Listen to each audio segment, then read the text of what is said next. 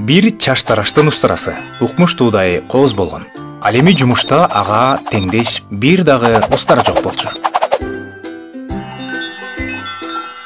Бир жолу чаштарачка келгендер жок болуп устаранын ээси бир жака кетип калганда устара дүйнөнү көрүп өзүн да көрсөтүүнү чечет.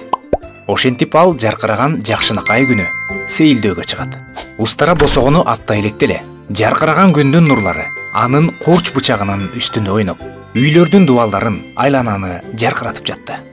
Бул болуп көрбөгөндөй көрүнүшкө устара ушунчалык сүйүнгөндүктөн ал дароо эле негизсиз текебердене баштады ушунчалык кооздуктан кийин мен чач тарашка кайра кайтып бармак белем дүйнөдөгү бүт байлыктарды берсе да кайтып барбай калайын самындалган жаактарды жана кир баскан ээктерди кырып өзүмдүн жашоомду бузсам бул менин акылсыздыгым болмок менин назик бычагым чач тарач үчүн беле эч кандай андай эмес мен андан обочо жерге жашынам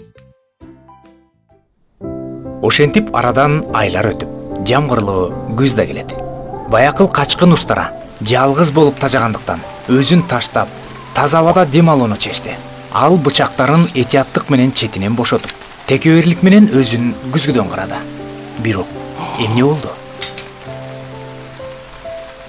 кожоюнум мени кандай гана папестеп баккан ал менин ишиме кандай гана кубанып сыймыктанчу эле.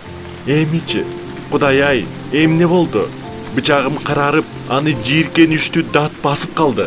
Мен өлдүм менин аргам да айлам да калган жок. Ардактуу угарман кудай ар бир адамга бул устарага берилген жөндөм сыяктуу талант берет. Бирок баардыгы эле өзүнө берилген башкалардан аны айырмалап турган баалуулукту өз учурунда өнүктүрүп кетпейт же барктай албайт. Андыктан болгон нерсеңерди көбөйтүп өнүктүрүп өстүрүүгө аракет кылгыла бул тууралуу ыйык китепте мындай делет. Анткени кимде бар болсо ага дагы берилет аныкы мол болот. Ал эми кимде жок болсо анда колунда болгон нерсеси тартылып алынат